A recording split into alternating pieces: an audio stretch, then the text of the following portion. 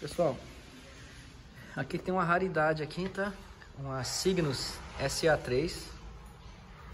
É, deu entrada como defeito no canal, porém a gente testou, tá funcionando no canal. Mas tem que fazer uma revisão. O tensiômetro aqui tá solto, mas tá funcionando. Por incrível que pareça, uma potência que é original ainda, nunca foi reparada, viu? Tô olhando aqui, ó, transistores o A1633 da RCA ainda, ó. Se dá para dar uns ó, RCA. Tem que fazer uma revisão, né? Pasta térmica, porque nunca foi mexida, potência antiga. Ó, e o 4278 RCA também. Aqui que até não tá muito suja, né? E as placas também, geralmente pega essas potências placas, tá tudo regaçada, né? Essa aqui não, ó. Eu não vi reparo aqui nela não. Ó, dá um zoom aqui, ó. Eu não... Eu não vi sinal de, de solda.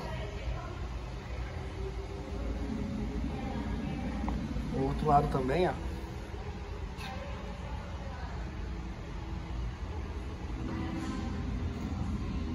Eu acho que é a primeira que eu pego que nunca foi, foi feita nenhum, nenhuma manutenção corretiva, né?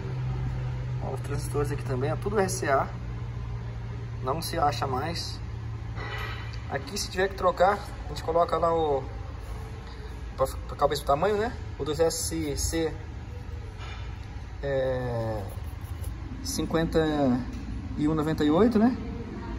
E o dos SA 19,41 no lugar.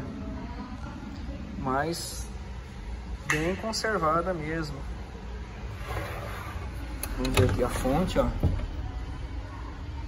Também nunca foi mexida, deixa eu ver o bordo. Parte traseira, ó.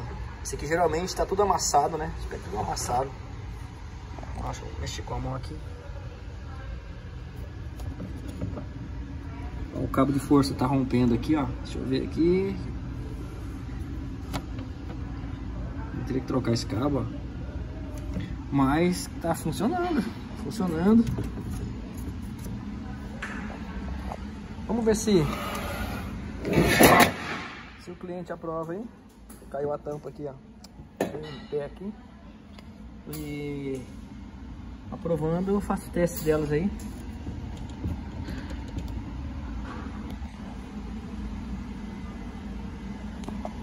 Tá, vamos ver o potenciômetro aqui, ó. É solto mesmo, só apertar. Então vamos aguardar aí ver se vai sair o vídeo dela, mas provavelmente vai sair.